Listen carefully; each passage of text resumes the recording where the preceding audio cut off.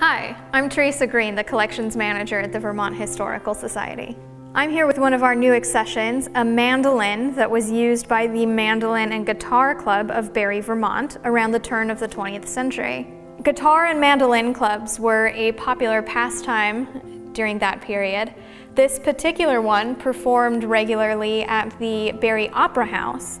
The mandolin is in remarkable condition. One of the only flaws is that it has been split, which is something that can happen to wooden instruments with variations in humidity, like we have here in Vermont. It is made of bent wood, which is done by steaming the wood until it's flexible, and then you bend it. And it has mother of pearl inlay on the neck and tortoiseshell marquetry on the face. And you may have heard of parquet floors. Marquetry and parquetry are related. Parquet is something that is geometric and marque is something that is uh, decorative, usually floral.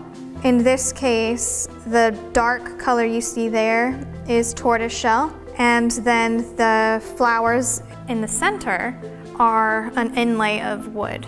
A mandolin is a stringed instrument that's played similarly to a guitar through plucking, but it is strung like a violin. Interestingly for us as a historical society, the mandolin was given along with this image showing the Barre Mandolin and Guitar Club. Particularly interesting is it shows the mandolin here being held by Alva Eastman.